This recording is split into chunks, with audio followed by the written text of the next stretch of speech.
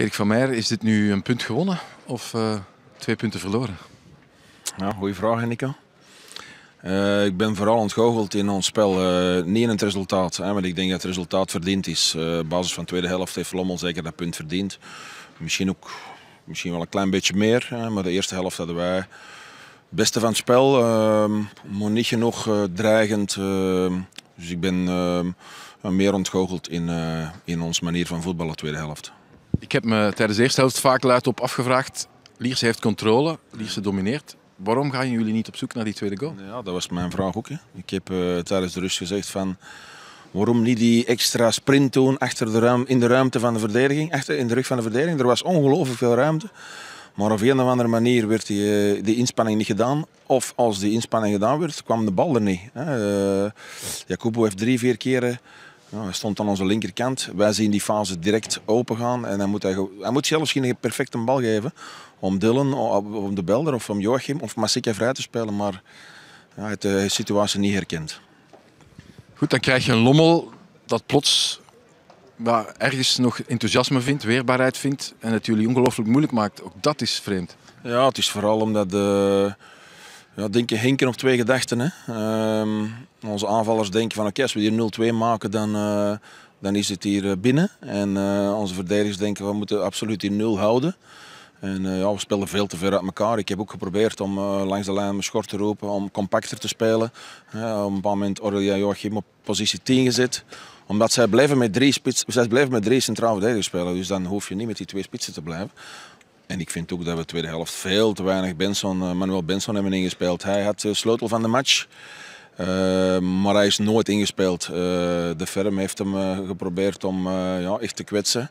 Maar we hadden hem veel meer moeten inspelen en had de Ferm eigenlijk verdiend rood gehad. Ben ik met je eens. Nu, dat punt zorgt er wel voor dat jullie eigenlijk alles in eigen handen hebben. Tenzij Antwerp met 7 goals verschil wint op Roeselaar. Ja, of tegen Lommel. Hè. Maar ik zie niet dat Lommel met deze organisatie eerst en vooral punten gaan verliezen op Antwerp. Maar ja, morgen is een belangrijke match. ik heb altijd, het is de eerste periode de laatste wedstrijd beslist. Antwerp uh, verloren in Roeselare. Uh, Allee, Roeselare gewoon van Antwerp.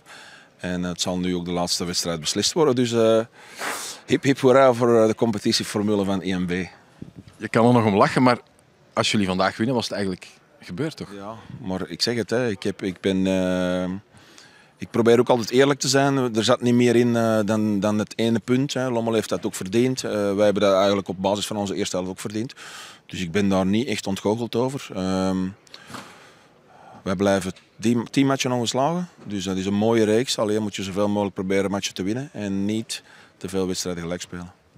Toch maar hopen dat Roeselaar denkt, laten we antwoord maar kloppen, dan, uh, dan wordt het Liersen in de finale. Ja, Roeselaar kan in principe beslissen tegen wie ze spelen. Hè. als zij morgen verliezen, dan kunnen ze de laatste speeldag uh, winnen bij ons en dan is het Antwerp.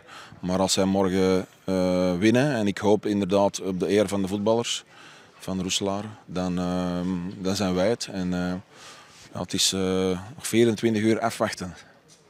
Ik wacht af mee met u. Dank, Dank u wel. Mike, bah, oui, j'imagine la, déception euh, parce qu'il y avait, y avait la possibilité aujourd'hui. Oui, il y avait la, possibilité, même, même si à la fin, euh, je dirais on s'en sort bien parce qu'il y, a pas mal de, de contres que eux ils ont ils ont, ils ont euh, ou, que le dernier la, dernière balle n'était pas bonne donc euh, de ce côté-là on, a eu un peu de un peu d'échange je pense que il y avait un peu de comment dire on s'est mal compris je pense un peu dans l'équipe aussi parce qu'il y en avait y en avait certains qui jouaient euh, le tout pour le tout pour marquer le deuxième et euh, enfin pour moi logiquement il y en avait qui, jouaient surtout le nul avec avec un nul euh, même si Antwerp gagne demain 3 points d'avance et un, goal d'average, quand même une, grosse différence. Il n'y a rien de. A rien de passé, on a toujours le, destin en tournement en ce moment et voilà, même si j'espère que Rollers va jouer le, le, jeu à fond, surtout chez eux à domicile où ils sont quand même costauds cette année. Et euh, voilà, on verra demain ce que ça donne, mais euh, c'est vrai que pour nous, euh, on espérait gagner, surtout qu'on est, on est la meilleure équipe à l'extérieur de la saison et c'est un peu dommage de, de gâcher deux points. Ouais, deux visages différents aussi hein, entre la première et la deuxième mi-temps de votre équipe.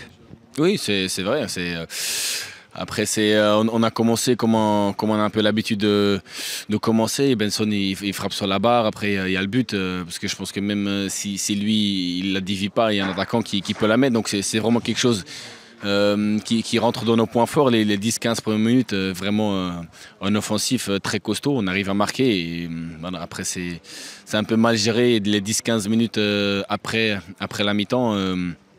Je ne sais pas pourquoi, on a toujours un peu de mal à peut-être à rentrer dans le match, à, trouver nos repères euh, deuxième mi-temps. C'est un peu dommage.